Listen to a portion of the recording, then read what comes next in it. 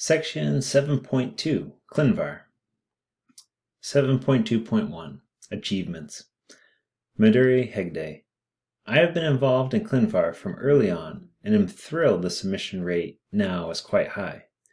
ClinVar has come a long way with regard to how laboratories are now understanding what to submit.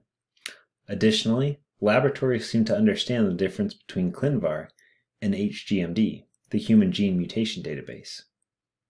Christine Stanley.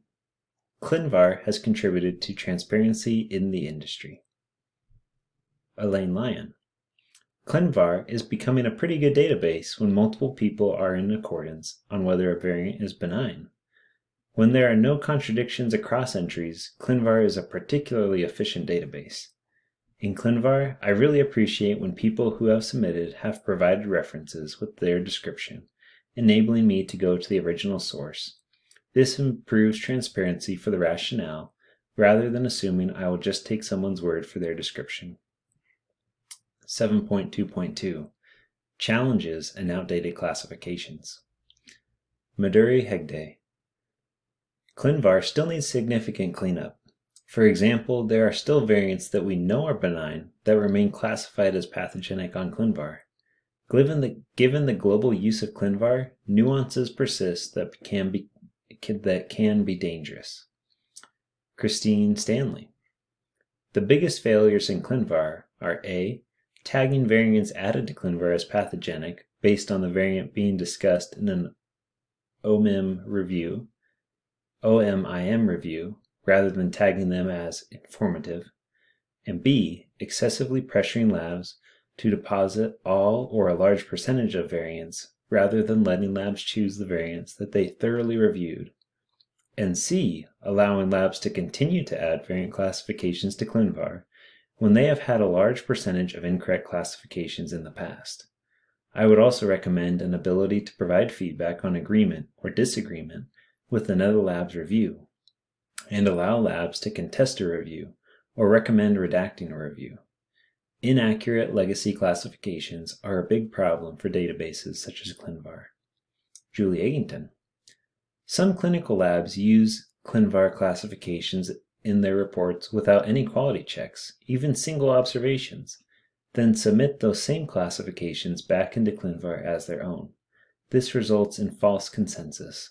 Mechanisms should be put in place to stop this practice since an increasing number of labs use consensus as a trigger to pass a variant classification on to clinical reports without review. Iain Kerr. As a community, we should have the decency to say that, given emerging evidence, we wrongly classified a variant. At the time, the classification may have been completely reasonable. Biology is dynamic, and dogma is often challenged. I consider incorrect classifications to be in the vast minority of cases. However, we should actively reassess these variants as new data become available. Elaine Lyon. We need to be aware of the difference between contradicting evidence and outdated evidence. If data from 1995 indicate pathogenicity, but current data indicate no pathogenicity, the data from 1995 can be considered outdated. This distinction, however, can be confusing. 7.2.3 Considerations for Food and Drug Administration approved variant classifications. Elaine Lyon. It is critical we remember that FDA approved variant classifications in ClinVar are still expert opinions.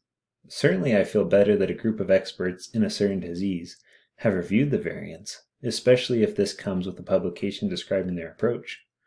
My concern, however, is that some people will take FDA approvals as the truth, which they may or may not be. Madhuri Hegde. It is dangerous to go in the direction of relying on expert committees for FDA approved classifications in ClinVar, especially for the way approvals are made with points and a star classification. Compounding the issue, publications are occurring for one modification or for modification of a certain criteria the application of which is uncertain. The potential for someone to then go through the ClinVar SOP program and rely on the STAR classification without applying critical analysis could create a dangerous situation because a lot more sequencing from diverse populations need to, needs to occur. Though we do not need to worry about variants that are obviously benign, we are additionally moving in the direction of very rare variant burden and polygenic risk scores where the effects of these variants are unknown. We are narrowing our focus too much rather than evaluating a global perspective of what it means to do clinical genetics and clinical testing.